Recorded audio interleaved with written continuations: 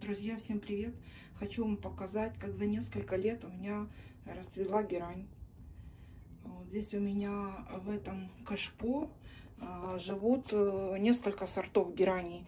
Но вот пока за, зацвела вот эта только розовенькая. Как-то несколько лет назад цвели только красненькие.